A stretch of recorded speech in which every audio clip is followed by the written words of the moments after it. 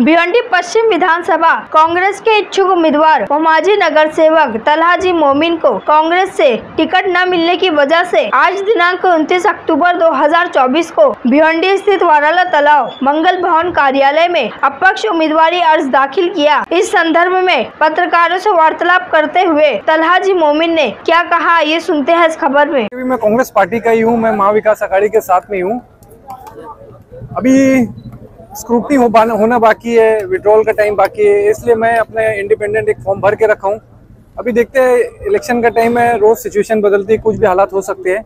उसके लिए wait and watch कर रहे हैं देखते क्या होता है आगे। हाँ, महाविकास आघाड़ी से देखा जाए तो बहुत से लोगों ने जो है नाराज़ होकर अलग अलग फॉर्म भरा इंडिपेंडेंटली फॉर्म भरा है। तो क्या ये सब महाविकास आघाड़ी को मिलकर हराना चाहते हैं क्या? नहीं नहीं, हराना कोई नहीं चाहते सब महाविकास आघाड़ी के साथ में सब महाविकास आघाड़ी को जिताना चाहते हैं।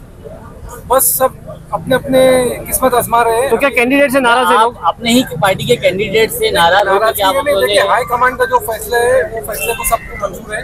और अभी देखते जो सिचुएशन है वो हिसाब से काम करेंगे। हाईकमांड ने बोला आपको आज़ाद फॉर्म भरना नहीं।